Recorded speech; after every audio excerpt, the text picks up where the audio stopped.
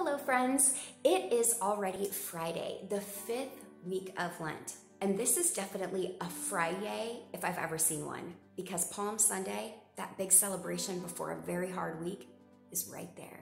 It's right around the corner. Today, the title of our devotion is Peace. John 14, 27 says this Peace I leave with you, my peace I give to you. Jesus spoke these words at a confusing time. It was the night he would be betrayed. Jesus spoke of going away, he spoke of betrayal. He had a conversation with Judas, who then mysteriously left. What is happening? We experience similar situations. Our sensed need is to know. We want to know. We want to understand, to comprehend. And then we want to do something about it. But Jesus spoke peace, the real need. Jesus gave his peace that night. On Easter evening, he appeared.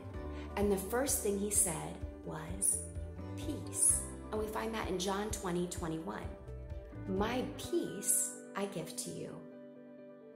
I wonder, friends, for what do you need peace right now in your life? Where does peace need to be for you in this moment? Hear the voice of Jesus speaking straight at you, to you. Peace, my peace, I give to you. Christ's peace guards our hearts. And that comes to us from Philippians 4, verse 7. Let's pray. Jesus, to know you is to know peace.